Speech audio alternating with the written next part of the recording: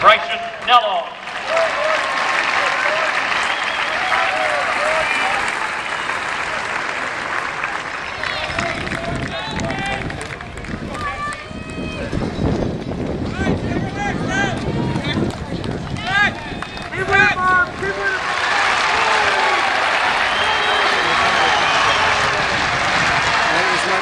On to the backstretch, 300 to go.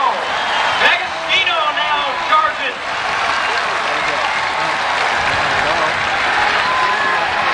Junior Megan Goethals here. Megan just finished up a long week. Yeah. Fourth in the 10K, fifth today in the 5,000 meters.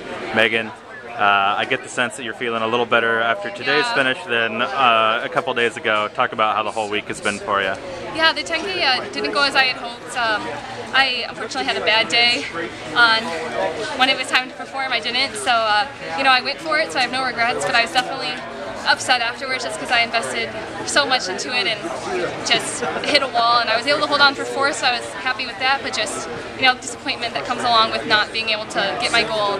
But yeah, today was so light years better, and I was happy I was able to compete. Uh, that last 600, definitely feeling the 10K in my legs, but tried to hold on, so I was able to. Uh, now, I mean, just talk about this is your fourth time on the podium. Yeah. Does it feel like you're starting to put together a pretty good uh, career overall?